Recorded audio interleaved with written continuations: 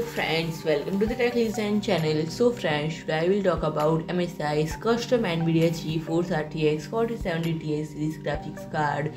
So friend, MSI is announced the new line of graphics card powered by the recently announced NVIDIA GeForce RTX 4070 Ti graphics processor and a lineup starring SUPRIM Gaming Trio and VENTUS series unite the latest in graphics technology, high performance circuit board design and advanced cooling and friend the resulting cards are perfectly tuned for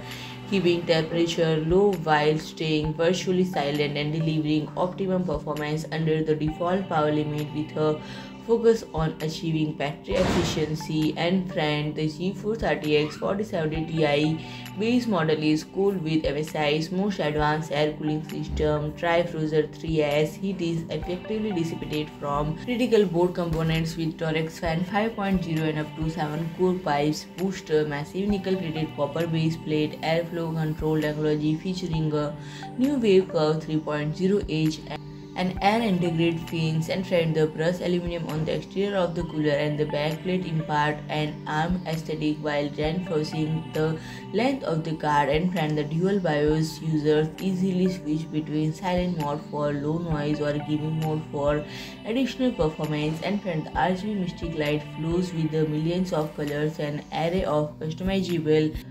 dynamic lighting options will design onlookers so friend if you like my video please do like, share and comment and don't forget to subscribe my channel and press the bell icon.